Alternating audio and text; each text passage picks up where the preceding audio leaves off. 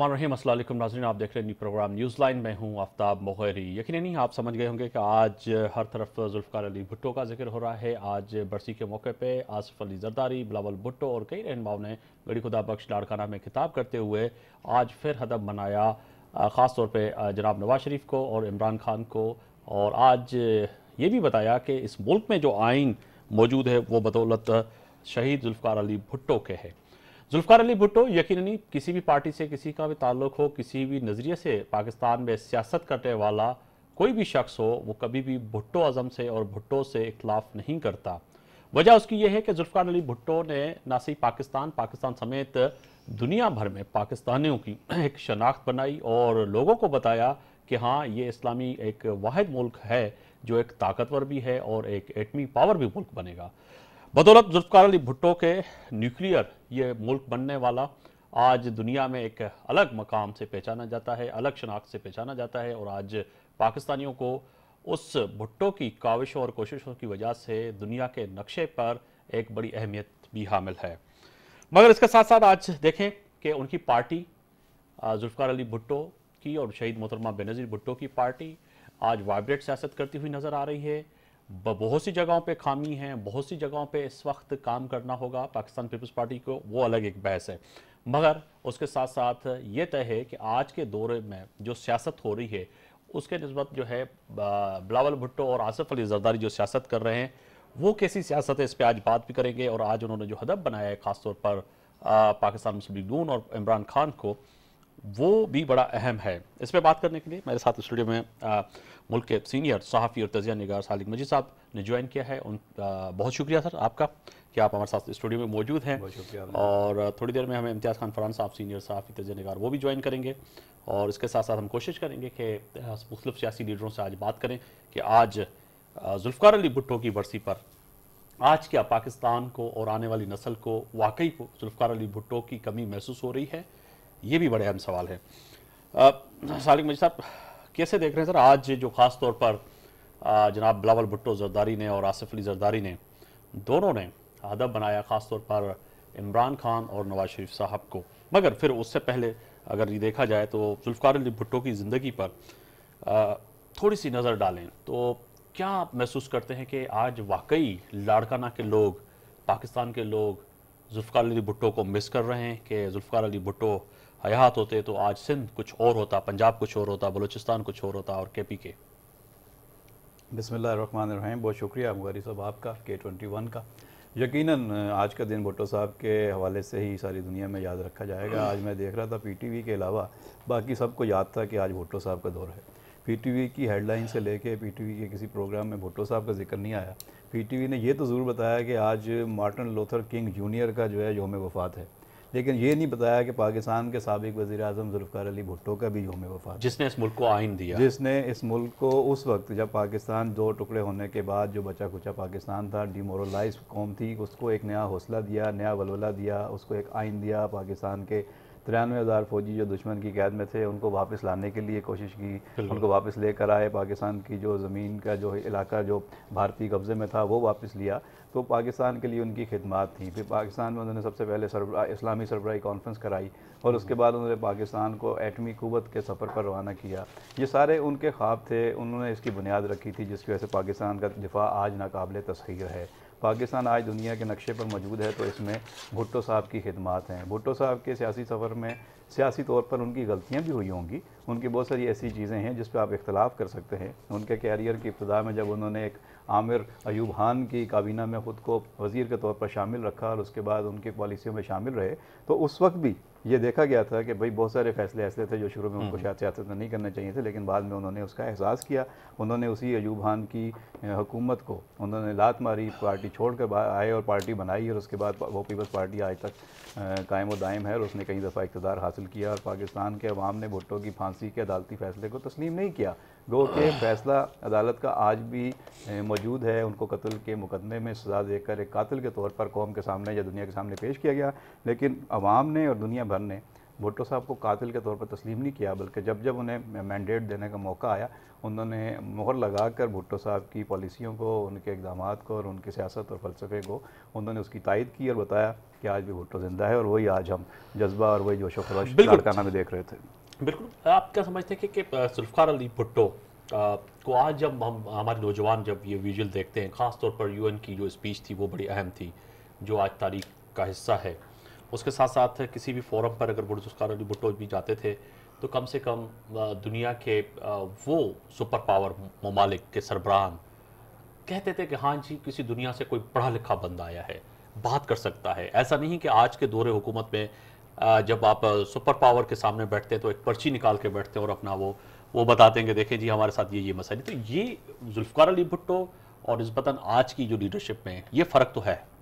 اس میں کوئی شک نہیں ہے کہ قائد اعظم کے بعد اگر پاکستان کو کوئی ویژنری لیڈر ملا تو وہ ذوالفقار علی بھٹو تھے۔ اور انہوں نے دنیا میں اپنا لوہا منوایا، اپنی صلاحیتوں کے ذریعے، اپنی تقریر کے ذریعے، اپنے ویژن کے ذریعے اور اپنے اقدامات کے ذریعے۔ نہ صرف انہوں نے مسلم امہ کو جوڑا، انہوں نے تمام اسلامی قیادت کو بتایا کہ اسلامی ملکوں کی طاقت کیا ہے۔ آئل کی جو سب سے بڑی طاقت تھی اسلامی ملکوں کے پاس اس کو انہوں نے بطور ہتھیار استعمال کرنے کے لیے ساری اسلامی قیادت کو تیار کیا۔ اسلامی بینک کی طرف اسلامی بام کی طرف اور اس کے ساتھ ساتھ انہوں نے کہا کہ بھائی ہم دنیا سے کسی بھی وجہ سے اگر ٹریڈ کرتے ہیں تو ہماری اپنی ٹرمز اینڈ کنڈیشنز ہونی چاہیے۔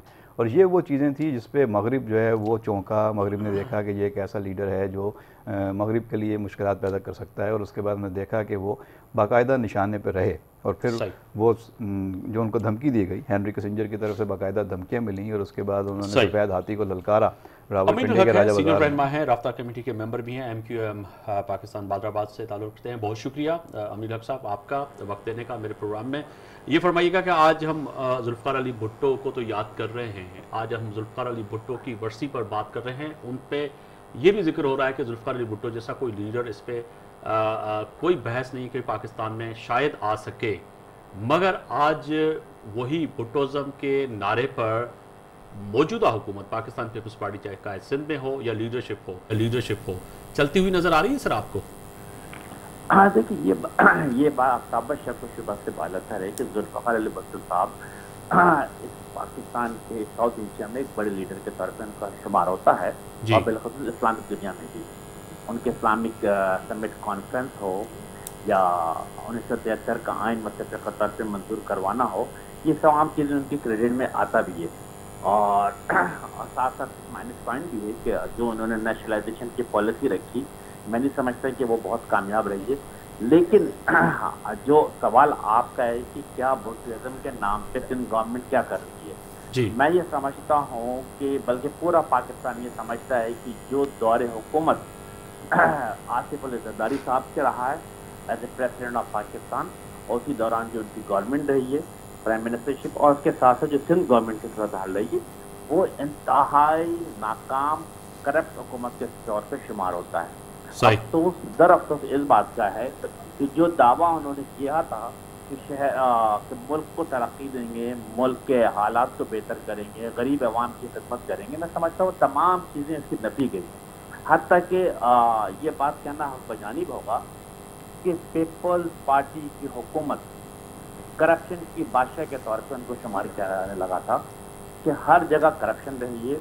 شہر تو شہر، میں سمجھتا ہوں کہ جس صوبے سے، جس حلقے سے لاڑکانہ سے پیپلز پارٹی پچھلے تین چار دہائیوں سے کامیاب ہوتی چلی آئی ہے، اس شہر کو بھی وہ لوگ ترقی دے نہیں سکے، بلکہ اب تو لاڑکانوں کے موجوداروں کے طور پہ یاد کیا جاتا ہے۔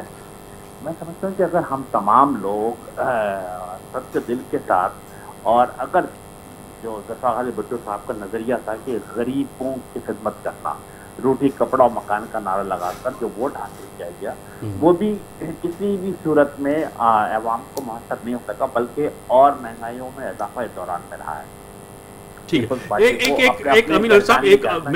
آپ نے تو بات کی یہ تو مسائل ہیں مگر آج آصف علی زرداری صاحب نے بالکل ہدف بنایا خاص طور پر نواز شریف صاحب کو اور خان صاحب کو۔ انہوں نے کہا کہ ہم چاہیں تو آپ سے سب کچھ چھین سکتے ہیں۔ تو کیا سمجھتے ہیں کہ جو سینٹ کے پہلے بھی انہوں نے کہا تھا کہ ہم سینٹ لے لیں گے آپ سے، تو وہ لے لی۔ اب کہہ رہے ہیں کہ ہم آپ کو پنجاب کا جو ہے سی ایم بھی بنانے نہیں دیں گے، وہ بھی آپ سے چھین لیں گے۔ تو سمجھتے ہیں کہ زرداری صاحب اتنے کانفیڈنس سے اور بڑے جوش و جذبے سے کہہ رہے ہیں کہ ہاں جی ہم پنجاب کا سی ایم بھی اپنا بنا لیں گے۔ تو کیا اگلی پارٹی پھر زرداری صاحب کی ہوگی حکومت میں یا کچھ آپ اور کچھ دیکھ رہے ہیں؟ ہاں، آفتاب پہ دیکھیے، بنیادی طور پہ ہم سب لوگ ایک پولیٹیکل ورکر ہیں۔ پولیٹیکل ورکر ہونے کے ناطے سب سے امپورٹنٹ چیز یہ ہوتی ہے کہ عوام کی عدالت کیا فیصلہ کرتی ہے۔ ہم یہ مسلسل دیکھتے چلے آئے ہیں کہ دو ہزار تیرہ میں عوام نے جیسے بھی ہو نظریاتی اختلاف اپنی جگہ پر لیکن انہوں نے مسلم لیگ ان کو سپورٹ کیا اور مسلم لیگ ان کامیاب ہوئی۔ اب اگر دو ہزار اٹھارہ کے الیکشن ہونے جا رہا ہے تو اس میں سب سے امپورٹنٹ چیز یہ ہوتی ہے کہ ووٹ کے تقدس کو ہمیشہ قائم و دائم رکھا جائے۔ عوام جو سوچتی ہے جو عوام بیلٹ پہ جو ووٹ ڈالتی ہے وہاں سے جو چیز برآمد ہوتا ہے اس کو ہر طرف میں اہمیت دی جائے۔ اور یہ دعوے کرنا کہ میں چیف منسٹر نہیں لانے دوں گا یا یہ بات کہنا کہ میں نے بلوچستان میں چیف منسٹر تبدیل کرا دیا۔ میں سمجھتا ہوں کہ بنیادی طور پہ یہ جمہوریت کو ڈیریل کرنے کی سازش ہے۔ بینگ اے پولیٹیکل ورکر ہمیں ہر طرف میں چاہیے۔ پاکستان کی طرف سے بھی اسی میں۔ کہ ملک میں جمہوری روایت ہر طرف میں قائم و دائم رہنا چاہیے اس میں تمام سیاسی پارٹیز کی بقا ہے اور تمام سیاسی پارٹیز کو میچورٹی کا مظاہرہ کرنا چاہیے پولیٹیکل سزم کا مظاہرہ کرنا چاہیے اور ملک میں جمہوریت کے لیے ہر طرف میں اپنی کوششیں جاری و ساری رکھنی چاہیے۔ ٹھیک ہے، امیر صاحب بلاول بھٹو کی آج اسپیچ کو کیسے دیکھتے ہیں؟ کیا اس مشکل گھڑی میں جو اب دو ہزار اٹھارہ کا الیکشن آ رہا ہے سندھ میں تو ان کو مشکل نہیں درپیش آئے گی کیونکہ سارے خاندان سندھ کے وہ پیپلز پارٹی میں شامل ہو چکے کوئی ایک آدھا بندہ ہو، شاید وہ رہ گیا تو رہ گیا ہو، نہیں تو میجورٹی میں لوگ جو ہے پیپلز پارٹی کو جوائن کر چکے ہیں۔ پاکستان کی لیول پر کیا اس مشکل گھڑی میں بلاول بھٹو نکال سکیں گے ہاں دیکھیے جہاں تک پیپل پارٹی کی پچھلے دس سال کی کارکردگی نظر آتی ہے، میں سمجھتا ہوں، عوام اسے دیکھ رہے ہیں، عوام اسے سمجھ رہے ہیں، اور جب بیلٹ میں ووٹ دینے کا وقت آئے گا، تو اپنا فیصلہ بڑی اندیشی کے ساتھ، سمجھداری کے ساتھ، اور سوچ سمجھ کے کریں گے۔ میں نہیں سمجھتا جو صورتحال پنجاب کی بائی الیکشن سے نظر آیا ہے کہ انہیں ون ٹوینٹی سے لے کر اگر آگے تو خانوال پہ جاتے، کسی جگہ پہ بھی بائی الیکشن سے وہ پیپلز پارٹی کے لوگوں کو پانچ سو ہزار یا بارہ سے پندرہ سو زیادہ ووٹ نہیں ملے۔ تو انہیں اپنا نوش دیوار پڑھ لینا چاہیے کہ اب عوام ان کے ساتھ کیا سلوک کرنے جا رہے ہیں جہاں تک سندھ کی بات ہے، یقیناً سندھ میں طاقت کے زور پہ اور پیسے کے زور پہ لوگوں کو دھوس اور دھمکیوں کے تحت اپنا ہم کل بنانے کی کوشش کی جا رہی ہے۔ لیکن اصل فیصلہ جیسے میں نے کہا کہ بیلٹ کے ذریعہ ہوتا ہے۔ بالکل۔ بیلٹ بتائے گا کہ لوگ کس کے ساتھ ہیں۔ اسی طرح میں سمجھتا ہوں کہ جو انٹیریئر سندھ میں جو مختلف بڑے بڑے خاندان تھے سردار تھے ان کا مثال بنائے تھے۔ اور اسی طرح اربن سندھ میں بھی ایک مخصوص طریقے سے ایم کیو ایم کو نقصان پہنچانے کے لیے کبھی کسی کا ٹیلیفون کال کرایا جا رہا ہے۔ جی۔ آپ کبھی کبھی کسی کبھی کسی کو کبھی کسی کو ٹیلی فون کال کروایا جا رہا ہے اور کسی کو جہوں سے زمین کے تحت وفاداریاں تبدیل کی جا رہی ہیں۔ چلے بہت شکریہ حق صاحب۔ بہت شکریہ سر آپ ٹیلی لائن پر موجود تھے آپ نے وقت نکالا اور بڑی آپ نے اہم بات کی۔ بریک پہ جا رہے ہیں بریک سے جب واپس آئیں گے تو بڑے اہم سوالات ہیں۔ واپس آ کے مہمان کے سامنے رکھیں گے اور جواب لینے کی کوشش۔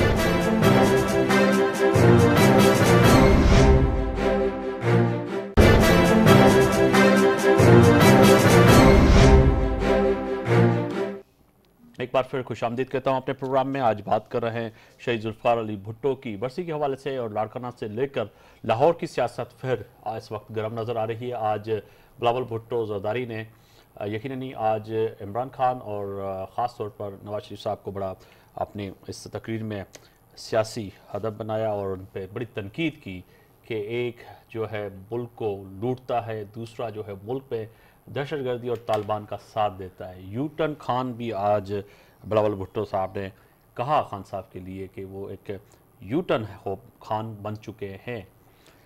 سلم مجید صاحب، یہ جو سیاست ہے اب جو مختلف، جو تقریروں میں دیکھ رہے ہیں، خان صاحب کی طرف سے بھی، پی ٹی آئی کی طرف سے بھی، اور میاں صاحب بھی آج بار کر کے کر رہے ہیں، عدالت کے بعد کہہ رہے ہیں کہ جی چار تاریخ ہے، آج ایک عظیم لیڈر کا وہ دن ہے۔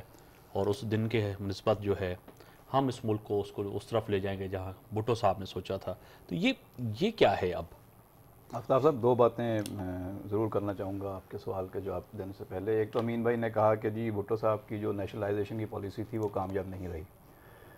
آج تو پیپلز پارٹی نیشنلائزیشن سے ہٹ کے پرائیویٹائزیشن سے ہٹ کے پرسنلائزیشن پہ چلی گئی ہے۔ بلکہ یہ کہا جائے کہ آصفائزیشن پہ چلی گئی ہے تو یہ بھی غلط نہیں ہوگا۔ کیونکہ جو دولت کے انبار پیپلز پارٹی نے اس دور میں یا اس سے پہلے والے دور میں جب آصف زرداری صاحب تھے لگائے، وہ بھٹو صاحب کا تو نہ ایجنڈا تھا، نہ پالیسی تھی۔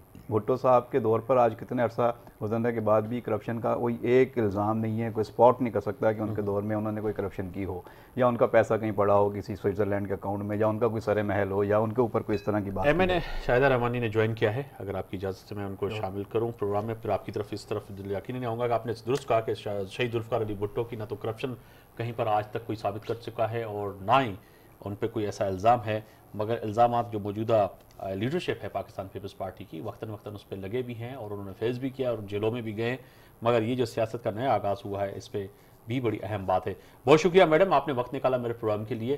یہ فرمائیے گا کہ کیا آج لاڑکانہ کا مجمع جو شہید ذوالفقار علی بھٹو کی برسی پہ کٹھے ہوا، تو انہوں نے آج آپ کو یہ نہیں کہا کہ آج لاڑکانہ سمیت پورے سندھ میں وہ کام اور وہ جو بھٹو صاحب سوچ رہے تھے لوگوں کے لیے، وہ ہوتا ہوا نظر نہیں آیا۔ یا صرف یہ جلسے کی حد تک ہے جلسہ ہوگا، اس کے بعد پھر اپنے اپنے گھروں پہ۔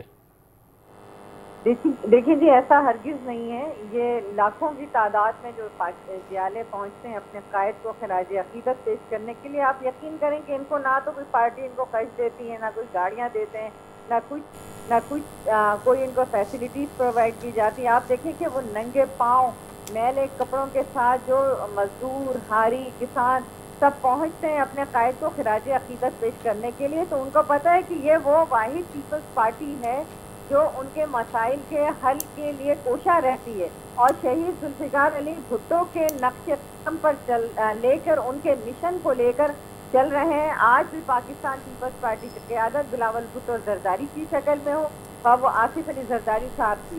ایک ایک بھی اپنے اپنے مشن سے ہم پیچھے نہ ہٹے ہیں، نہ ہٹیں گے۔ اور یہی وجہ ہے کہ یہ جو چھاٹے مارتا عوام کا سمندر ہے، وہ اسی لیے پہنچتا ہے اور اسے وہ پاکستان پیپلز پارٹی پہ اپنا بھرپور اعتماد کا اظہار کرتا ہے۔ کوئی زبردستی کے لائے ہوئے یا پیسے دے کر گاڑیاں دے کے بھر کے یا سرکاری ملازمین کو نہیں لایا جاتا۔ آپ دیکھیں گے، دنیا پاکستان کے تمام چینلز وہ براہ راست کوریج کر رہے ہوتے ہیں۔ اور ان دیالوں کے جذبات دیکھیں کہ وہ جس طریقے سے اپنی اظہار کر رہے ہوتے ہیں اور اپنے قائد کو بھرپور خراج عقیدت پیش کرتے ہیں، تو یہی وہ اعتماد ہے۔ اور یہی وجہ ہے کہ پاکستان پیپلز پارٹی کو آج پچاس سال سے زائد کا عرصہ گزر گیا، لیکن وہ اسی طرح عوام میں آج بھی مقبول ہے۔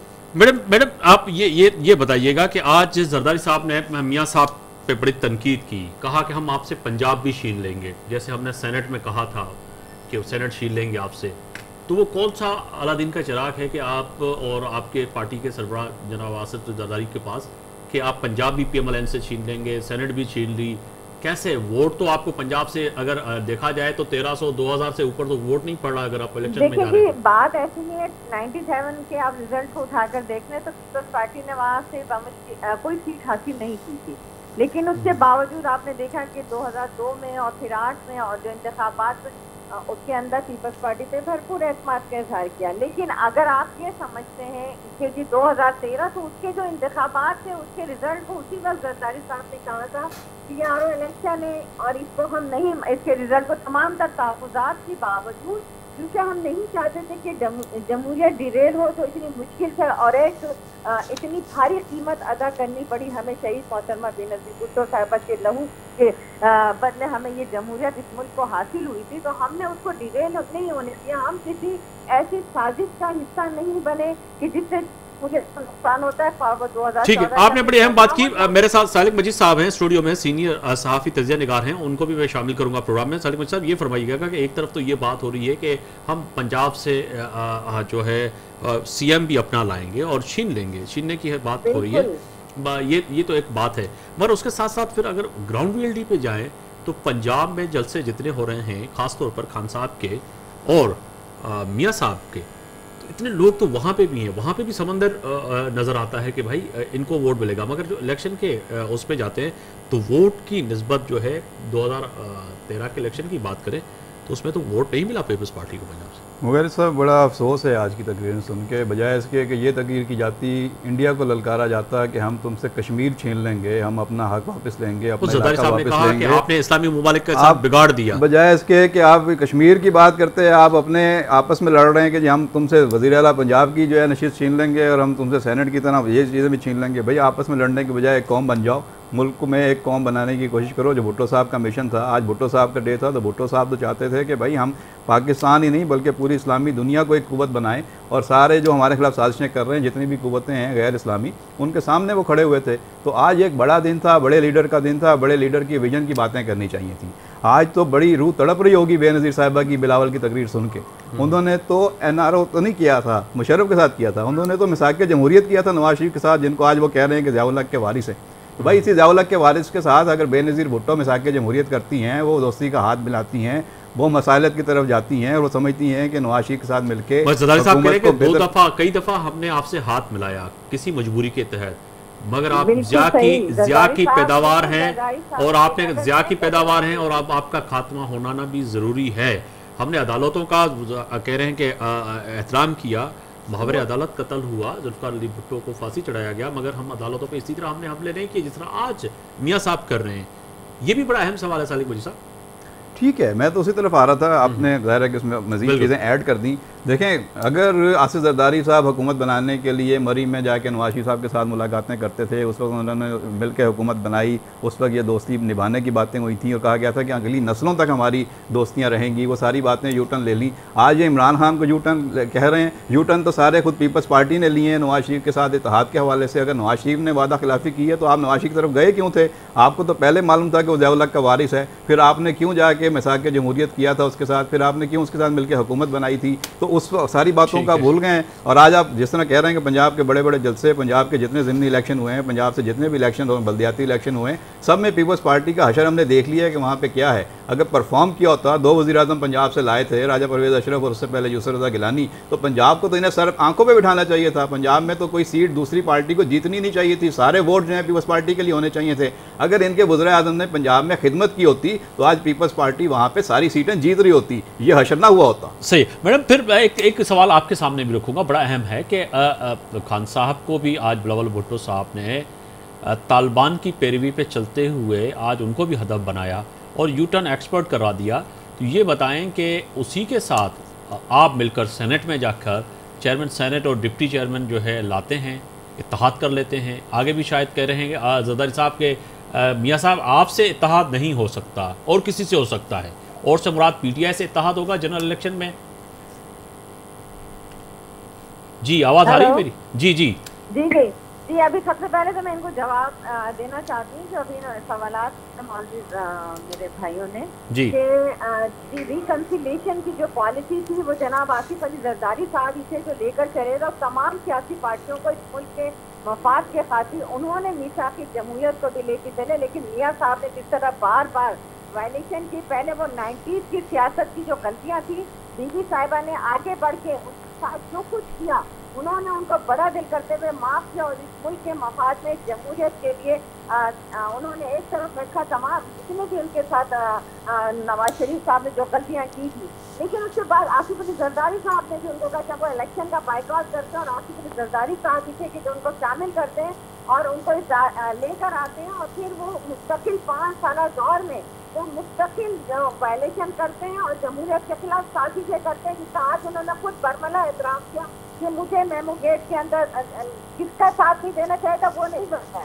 لیکن وہ غلطیوں پہ غلطیاں کرتے رہے اور پھر گزشتہ پانچ سالوں میں جب یہ تین تھرڈ میجورٹی کے ساتھ تھے تو انہوں نے جو پارلیمنٹ کی بالادستی کو جو نقصان پہنچایا اداروں کا جو ٹکراؤ کیا اور اس کے علاوہ پارلیمنٹ پارلیمنٹ میں آنا گوارا نہیں کرتے تھے وہ تو امیر المومنین جس طریقے سے انہوں نے رول پلے کیا وہ بالنگ بالا فیصلے ہوتے تھے منسٹر اور مزرا جو ہے پارلیمنٹ میں نہیں آتے تھے روز آنا کورم ہوتا تو انہوں نے کون سی خدمات انجام دیتی جمہوریت کے لیے؟ اور زرداری صاحب کو میں سلام پیش کرتی تھی، اس وقت جبکہ دھرنا تھا اور ان کی حکومت کو جس طرح خطرات کا سامنا تھا، انہوں نے تمام کو مخالفت اپنے اوپر لے کر جمہوریت کو ڈیویل ہونے نہیں دیا۔ اور ان کو اور جب جب جس وقت پھر انہوں نے بار بار پیپلز پارٹی کے لیے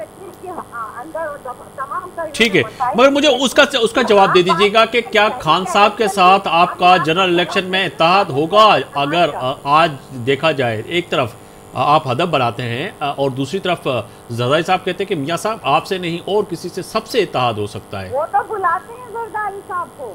وہ تو بار بار دعوت دیتے ہیں۔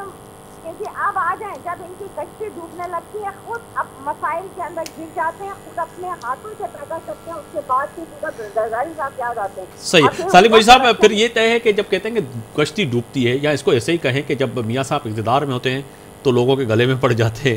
جب اقتدار نکل جاتا ہے تو پھر پاؤں میں گر جاتے ہیں۔ جب آصف زرداری صاحب صدر تھے تو یہ نعرہ بڑا مقبول تھا کہ اگلی باری پھر زرداری۔ صحیح۔ تو وہ دوبارہ تو صدارت حاصل نہیں کر سکے اور اس کے بعد جب ان کی حکومت چلی گئی اور نواشی صاحب کی حکومت آ گئی تو اس وقت تک نواشی اچھے تھے جب تک ان کے خلاف کیسز نہیں کھلے تھے جب ان کے ساتھیوں کے خلاف کارروائی شروع نہیں ہوئی تھی جب تک کراچی میں گینگ وار کے خلاف آپریشن شروع نہیں ہوا تھا اس وقت تک نواز شریف صاحب بہت اچھے تھے۔ اس وقت ساری پیپلز پارٹی نواز شریف کے گن گاتی تھی۔ جس دن ڈاکٹر عاصم کو اٹھا لیا گیا اور ڈاکٹر عاصم کے خلاف کارروائی سے بچانے کے لیے نواز شریف کی حکومت نے آصف زرداری کا کوئی ساتھ نہیں دیا ہاں۔ جب انور مجید کے خلاف چھاپے شروع ہوئے اور کاروائیاں شروع ہوئیں اور نواز شریف کی حکومت نے ان کا کوئی ساتھ نہیں دیا جب شرجیل میمن کے خلاف کاروائیاں شروع ہوئیں جب لیاری گینگوار کے خلاف کاروائیاں شروع ہوئیں۔ یہ سارے جب کچے چٹے کھل گئے جب کرپشن سامنے آنے لگی کیسز آ گئے سابق گزرے اعظم کے خلاف کیسز چلنا شروع ہو گئے تو نواز شریف برے ہو گئے۔ بھائی آپ اپنا ماضی بھی یاد رکھیں وہی آدمی جو ہے وہ آپ کو اچھا لگتا ہے۔ آپ کو جب وقت ضرورت ضرورت پڑی تھی تو وہی آدمی آپ نے جو ہے وہ جا کے مری میں اس کے ساتھ معاہدے کر لیے تھے۔ جب آپ کو اس نے بچایا نہیں تو آپ کو لگا کہ وہ سب سے زیادہ کرپٹ آدمی ہے۔ تو اپنا بھی ماضی یاد رکھیں اپنے فیصلے بھی یاد رکھیں۔ صرف دوسری طرف ہی سارا الزام نہیں لگایا جا سکتا۔ آج نواز شریف صاحب اگر سیاست کر رہے ہیں تو یہ بھٹو صاحب کا مشن ہے جو آج وہ اینٹی اسٹیبلشمنٹ سیاست کر رہے ہیں۔ آج پیپلز پارٹی اینٹی اسٹیبلشمنٹ سیاست نہیں کر رہی جو بے نظیر نے کی تھی، جو نصرت بھٹو صاحبہ نے کی تھی، جو خود بھٹو صاحب نے کی تھی۔ آج بھٹو صاحب کے دن پہ اس وقت دیکھ لیجیے پاکستان میں پرو گورنمنٹ اور پرو عوام سیاست کون کر رہا ہے اور پرو اسٹیبلشمنٹ سیاست کون کر رہا ہے۔ آج فرق صاحب ظاہر ہے، آج سینٹ کے الیکشن میں جو کچھ ہوا ہے، اس نے صاحب بتا دیا ہے۔ کہ اس وقت پاکستان میں لڑنے والی قوتیں کون سی ہیں؟ اصولوں کے ساتھ کون سی ہیں؟ پبلک کس کے ساتھ کھڑی ہے؟ اپوزیشن کے تمام ممبران کو اور بلوچستان کے وہ تمام صوبائی اسمبلی کے ممبران کو جنہوں نے ان ہاؤس آئین کے پریشان میں رہتے ہوئے ان ہاؤس چینجنگ لے کے آئے ان کے ساتھ جو جس کا پانچ سال زیادتی ہوئی اور آج آپ اس کو کہہ رہے ہیں کہ وہ وہ جو ہے وہ ہاؤس چینجنگ وہ ہاؤس چینجنگ وہ ہوتی کہ جب ایک منتخب حکومت جو ہے انہوں نے بوریا کچوریوں سے منہ کھول دیا تھا ان کے ممبران کو خریدنے کے لیے میں سلام کرتی ہوں۔ ممبران کو جو نہ بکے نہ جھکے اور ایک ان ہاؤس چینج آئی اور آج الحمدللہ سینٹ چلے۔ چلے چلے ابھی آج آپ لاڑکانہ میں موجود ہیں۔ لاڑکانہ کے لوگ کیا کہتے ہیں کہ بھٹو صاحب کا خواب شہید رانی کا خواب پورا ہوا لاڑکانہ کو آپ نے پیرس بنا دیا۔ سپریم کورٹ جو ہے چیف جسٹس کہہ رہے ہیں کہ لاڑکانہ میں لوگوں کو پانی پینے کا میسر نہیں ہے۔ سندھ کے لوگوں کو ایک بخار کی ٹیبلٹ نہیں ملتی۔ مونجا دوڑوں کے اطراف میں ڈوکری شہر ہے وہاں کے سول ہاسپٹل کی ایمبولینسز جو ہیں ایٹوں پہ کھڑی ہیں۔ اور بہترین روڈ بنے۔ اگر آپ آنا چاہیں تو آ کر دیکھیں کہ الحمدللہ پہلے کا حالات بھی بہت بہتر ہو گئے۔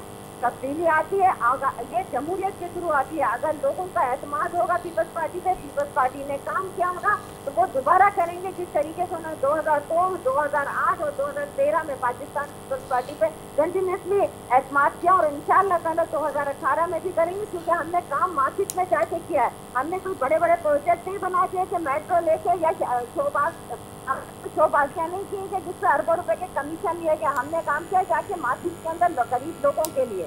چلیں آپ جب بلائیں گے تو ہم لاڑکانہ ضرور آئیں گے اور لاڑکانہ کو بھی دیکھیں گے اور شہر قائد سمیت پورے پاکستان کے لوگوں کو دکھائیں گے کہ جی لاڑکانہ لنڈن یا پیرس نہیں مگر لاڑکانہ تو بن گیا ہے پاکستان پیپلز پارٹی نے۔ پیرس سے اتنا مروف کیوں ہے میں سمجھتی ہوں کہ ہم اپنے پاکستان کو ایک مثالی ملک بنا لیں آپ کا نعرہ تھا نا لاڑکانہ کو پیرس بنا دیں گے ہمارا میں اپنی بات نہیں کر رہا ہوں یہ پیپلز پارٹی کا نعرہ تھا۔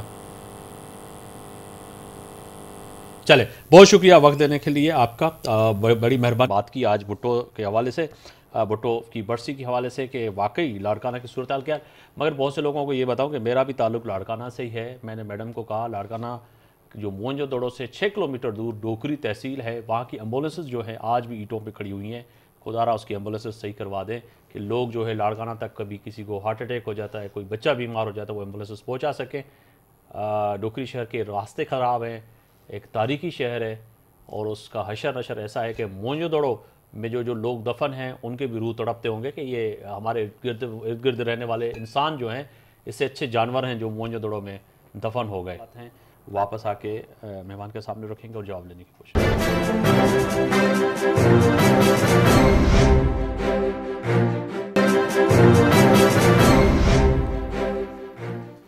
ایک بار آپ کو خوش آمدید کہتا ہوں، اپنے پروگرام میں آج بڑی اہم بات ہو رہی ہے لاڑکانہ کے حوالے سے۔ میں نے بات کی کہ لاڑکانہ کی ترقی، سمیت سندھ کی ترقی کو سلم جی صاحب کیا دیکھتے ہیں کہ واقعی وہ جو بھٹوزم کا نعرہ تھا، روٹی، کپڑا، اور مکان، مانگ رہا ہے ہر انسان، ان تینوں نعروں کو پورا ہوتا ہوا دیکھ رہے ہیں آپ کہ ہاں واقعی کوئی سندھ میں شاید روٹی، کپڑا اور مقام مل سکا ہے لوگوں کو؟ دیکھیں میری صاحب، جو شاہدہ رحمانی صاحب بات کر رہی تھی ظاہر ہے کہ پیپلز پارٹی کی ورکر ہیں، ان کے رہنما ہیں، انہوں نے اپنی پارٹی کا موقف پیش کرنا ہے۔ اور وہ یہ کیسے مان لے کہ لاڑکانہ میں کام نہیں ہوا یا لاڑکانہ اور اس کے گردروان میں جس کے آپ خود گواہ ہیں کہ وہاں کی کیا حالت ہے لیکن وہ پبلکلی کہہ نہیں سکتی۔ وہ یہ ضرور پوائنٹ سکورنگ کے لیے کہتے ہیں کہ جی ہمیں سندھ کے عوام بار بار مینڈیٹ دیتے ہیں تو اس کا مطلب ہے کہ ہم کام کرتے ہیں۔ تو بھئی اگر آپ کو ہے ہی نہیں تو دیں گے نا لوگ اگر آپ کو مینڈیٹ ملتا ہے اور آپ کا آپ کا جو کلیم ہے یہ کلیم پورے پاکستان پہ آپ ذرا لے جائیے۔ تو پورے پاکستان میں بار بار پیپلز پارٹی کو پھر مینڈیٹ کیوں نہیں ملتا؟ اگر پیپلز پارٹی نے کام کیا ہوتا تو پھر واقعی ان کو باقی علاقوں سے بھی مینڈیٹ ملنا چاہیے تھا۔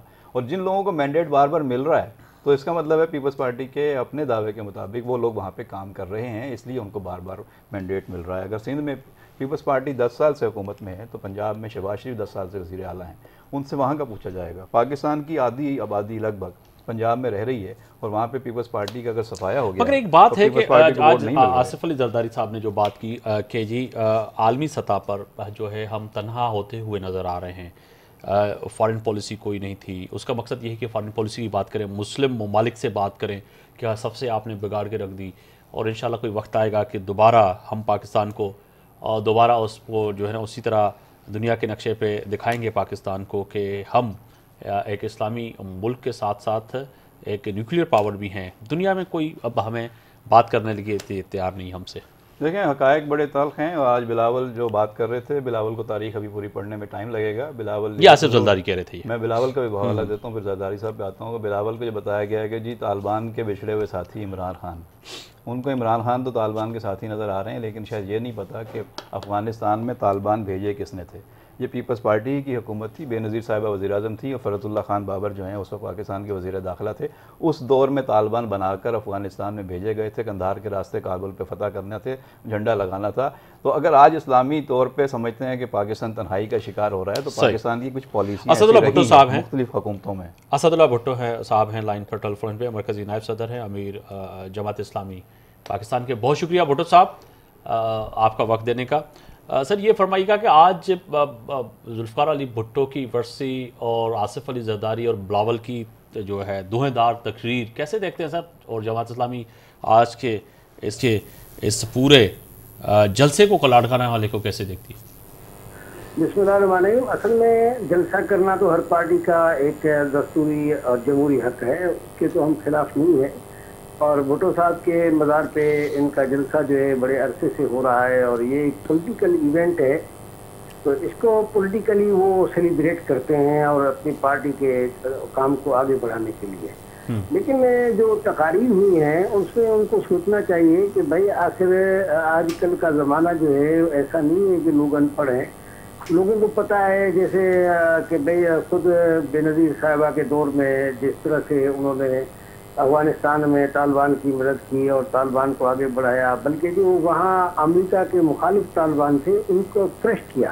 مگر حکمت یار کی جتنی کیمپ تھے اس کو اکھاڑنے میں نصیب اللہ بابر کا اور پیپلز پارٹی کا بڑا ہاتھ تھا۔ اسی طرح سے یہاں پاکستان کے اندر بھی ایم آر ڈی کے زمانے میں جو یہاں دہشت گردی شروع ہوئی تھی وہ ایم آر ڈی کے زمانے میں شروع ہوئی تھی۔ اس سے پہلے جو ہے یہاں جتنی بھی تحریکیں اٹھی ہیں وہ پورا امن تحریکیں ہوتی تھی جمہوری تحریکیں ہوتی تھی مگر پی این اے کے زمانے میں آپ ایک واقعہ بھی نہیں سنا سکتے کہ جس میں کسی ٹرین کے اوپر فائرنگ ہوئی ہو جس میں بسوں کو لوٹا گیا ہو جس میں بینکوں کو لوٹا گیا ہو۔ ٹرین کی پٹڑی پہ تو لوگ سو گئے اور ٹرین کو نہیں چلنے دیا لیکن ٹرین کو نقصان نہیں پہنچایا۔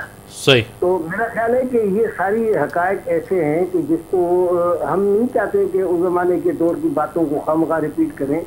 لیکن اب اگر یہ خام کا ضرورت سے زیادہ وہ کریں گے تو پھر یہ مجبوراً لوگوں کو حقائق بتانے پڑتے مگر مگر آپ سمجھتے ہیں کہ آج آصف علی زرداری صاحب کہتے ہیں کہ عالمی دنیا میں ہم تنہا ہوتے ہوئے نظر آتے ہیں خاص طور پہ فارن پالیسی کا ذکر کرتے ہوئے انہوں نے آج کہا۔ اور میاں صاحب کے ان دور حکومت کے جو جو موجودہ دور حکومت ابھی آخری چند مہینے بچے ہیں نواز شریف صاحب کی حکومت یعنی کہ خاقان عباسی اور میاں صاحب نے جو پرائم منسٹرشپ چلائی ہے تو اسلامی ممالک کے ساتھ بھی انہوں نے کہا کہ آپ نے کوئی اچھی تعلقات نہیں رکھے ادھر بھی بگاڑ دی یعنی کہ سعودی عرب ہو گیا افغانستان ہو گیا ایران ہو گیا تو درست فرما رہے ہیں وہ؟ دیکھیے بھٹو صاحب کے زمانے میں بعض اچھے کام بھی ہوئے۔ مثلا انہوں نے جو یہاں ایٹمی پروگرام کے لیے جو کوششیں کی ہم اس کو سراہتے ہیں۔ صحیح۔ اسی طرح سے انہوں نے ختم نبوت کے حوالے سے جتنا کام کیا اور یہاں اس کے لیے دستور میں ترمیم کی ہم اس کو سراہتے ہیں۔ اسی طرح سے تہتر کے دستور میں اسلامی دفات کے لیے انہوں نے جس وسیم قلبی کا مظاہرہ کیا اور اسلامی دفات کو اس کا حصہ بنایا اور مذہبی دینی جماعتیں کو ایک تجاویز کو انہوں نے accumulate کیا، یہ بھی اچھی بات تھی۔ لیکن مسئلہ صرف اتنا ہے کہ یہ اس وقت کا آپ بتا رہے ہیں کہ ہم تنہائی کا شکار ہیں، تو یہ حکومت بھی تو اس این آر او کا حصہ ہے جو N R O peoples party نے پرویز مشرف کے زمانے میں اور مسلم لیگ نون نے نواز شریف صاحب نے اور آصف زرداری صاحب نے انہوں نے کیا تھا نا؟ یہ او جو ہے یہ تو کوئی ہم نے تو نہیں کیا تھا جماعت والوں نے یا مذہبی جماعتوں نے صحیح۔ تو اس لیے یہ تو مگر مگر آپ سمجھتے ہیں کہ وہ درست فرما رہے ہیں کہ پی ایم ایل این کی دور حکومت میں واقعی ملک تنہائی کی طرف جا رہا ہے خاص طور پہ جو اسلامی برادر ملک جو ہے جس سے بھائی چارہ ہمارا زیادہ تھا مشکل وقت میں ہم ان کے کام آتے رہے ہیں وہ آتے رہے ہیں ہمارے۔ تو واقعی تنہائی کا شکار ہوتا ہوا نظر آ رہے ہیں پاکستان آپ کو؟ دیکھیں جی تنہائی کا شکار ہو سکتا ہے اب تو نہیں ہے لیکن ہو سکتا ہے۔ لیکن اس کے لیے پاکستان کے دیکھیں ایک ہیں ہمارے اندرونی اختلافات وہ اپنی جگہ پہ ہیں۔ لیکن خارجہ اور بیرونی معاملات میں ہمیں سب کو آپس میں تعاون کرنا چاہیے اور اس کے لیے حکومت کا بھی فرض ہے کہ سب کو اعتماد ملے۔ اور تمام لوگوں کو آن بورڈ لے کر کے اور ملک کی خارجہ پالیسی ایسی بنائے جو قومی توقعات کے آئینہ دار ہو اور چیلنجز کو سب مل کے کریں۔ ٹھیک ہے۔ اس لیے پارلیمنٹ بہترین جگہ ہے جہاں پر اس معاملے کو حل کیا جا سکتا ہے۔ مگر سر آج انہوں نے یہ بھی ذکر کیا کہ سینٹ تو ہم نے آپ سے چھین لیا اور پنجاب کی سی ایم شپ بھی چھین لیں گے۔ سندھ میں تو واقعی ان کی حکومت ہے بھی اور اگلی بھی ہوگی۔ تو جماعت اسلامی کہاں ہوگی سر پھر؟ نہ آپ کے پی کے میں نظر آئیں گے نہ پنجاب میں نہ سندھ میں پھر۔